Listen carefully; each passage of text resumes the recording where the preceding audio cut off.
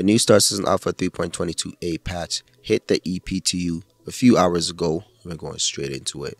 In this one, it's still available for all backers in the US servers only. The very first thing they have mentioned here is feature updates under the gameplay category. They have bounty ship cargo balance pass. It says here NPC bounty contract ships have their cargo manifest adjusted for economy balance.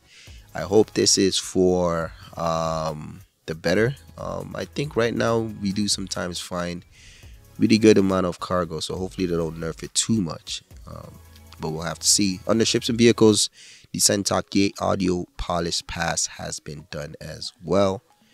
With this one, there's a few bug fixes as well. It says that they fixed an issue that could cause undersuits to be permanently lost when equipping armor.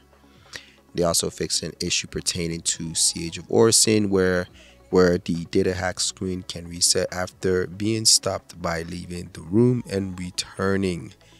They fixed an issue where a mission does not tell players to leave platform to complete the mission.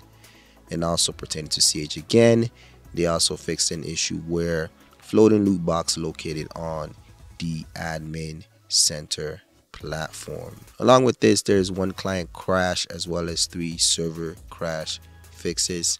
For those that don't know, my organization Phaseone Industries is now recruiting new and veteran players. If you are interested, you can find our Discord in the description down below. Make sure to leave a like, subscribe. I'll see you on the next video.